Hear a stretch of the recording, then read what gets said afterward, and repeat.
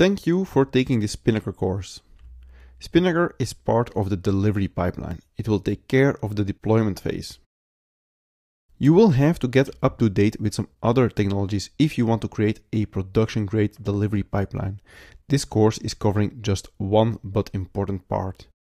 What I mean by that is that this course is only explaining Spinnaker, but Spinnaker integrates with lots of other software. So if you're not familiar enough with this other software, you might have to take other courses that covers this topic or just read a little bit about them. It will definitely become clear once you start this course. Spinnaker can be used in conjunction with continuous integration technology. For example, it can be integrated with Circle CI, Travis CI, Bitbucket Pipelines, Jenkins, and TeamCity. In this course, we will show you how to integrate it with Jenkins, but it can be integrated with any CI. Spinnaker can deploy to all major cloud providers. You can deploy to Amazon Web Services, Google Cloud Platform, Azure, App Engine, and even more. You can also deploy to Kubernetes. The ones we are going to cover is Amazon Web Services, AWS, and Kubernetes.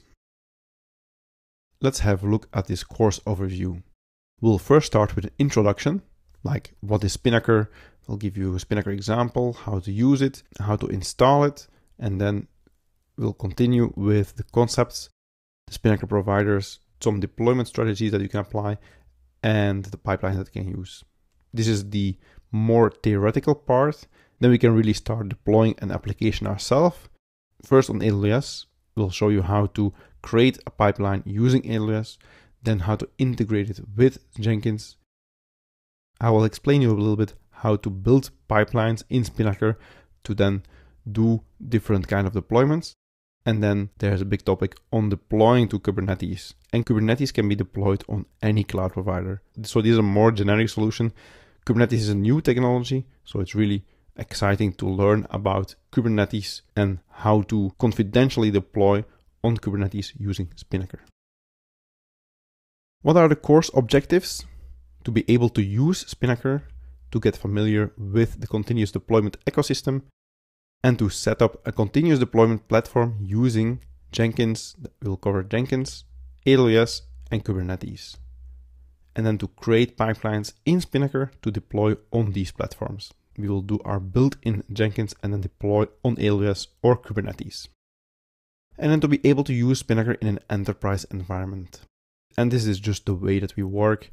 We make sure that we cover things like authentication to make sure that you immediately have a secure cluster.